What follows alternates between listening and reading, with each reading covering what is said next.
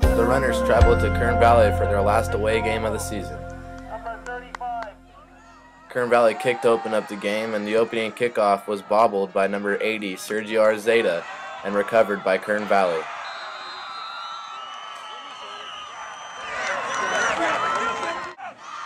But on the first play of Kern Valley's drive, number 11, Kyle Emery, was hit by Cody Lloyd and fumbled the ball, and the ball was recovered by Julian Olmos. On the runner's possession, Brendan Facey would get this handoff off the right side for about four yards. On third down, Michael Sturgill rolled out to his left and was dropped for his sack, which forced a Rosamond punt. On Kern Valley's possession, number 7, Mark Eisenhower took this handoff 13 yards for a Kern Valley first down. Later in the drive, Mark Eisenhower again got the handoff and got another first down. A few plays later, Kyle Emery dropped back to pass, and his pass was intercepted by Michael Sturgill at the three-yard line. On the runner's possession, Nick Lloyd got this handoff up the middle for six yards. On the next play, Keith Murphy got this handoff off the right side for four yards. A few plays later, Elijah Nod got a handoff up the middle, which gave the runners a first down. On third down, Michael Sturgill rolled out to his left and got a great block from Curtis McCann, but he was dropped short of the first down. On Kern Valley's possession, Anthony Hernandez caught this pass, but the ball was stripped by Nick Lloyd. But on two consecutive plays, Elijah Nod and Nick Lloyd would be stopped right at the line of scrimmage. On the Broncs possession, Kyle Emery would find Warren Pappas for a Kern Valley first down. On the next play, Warren Pappas got this handoff off the right side and was knocked out of bounds by Nick Lloyd. On the next play, Mark Eisenhower dropped back to pass and found Jordan Lawson inside the 10-yard line.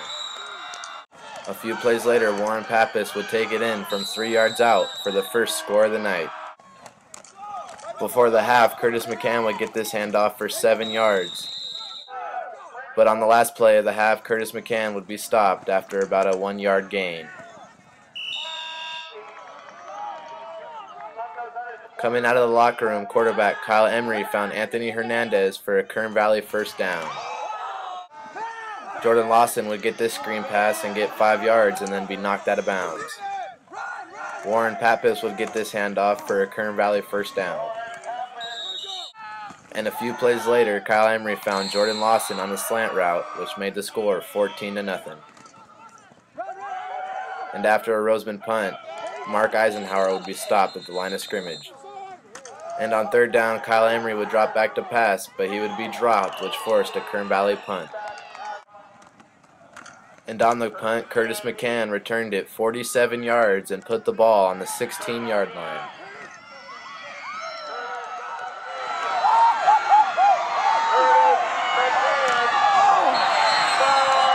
On second down, Elijah Nod got this handoff for about four yards. And after a controversial spot on third down, the runners would be stopped on fourth and one. After a Rosamond punt, Kyle Emery would find Jordan Lawson and put the ball on the 40-yard line. A few plays later, Travis Gibson would get this handoff for a first down.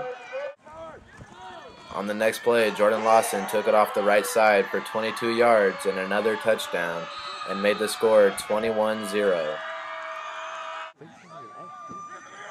Looking to get back in the game, Michael Sturgill dropped back to pass on first down and found Curtis McCann for a new set of downs.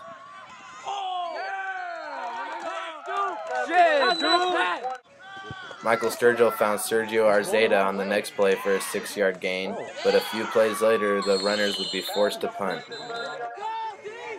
On Kern Valley's possession, Mark Eisenhower got this handoff off the left side for six yards. The runners would get one more chance to score, but they would be stopped short of the end zone, and they fell to Kern Valley 28 to 0.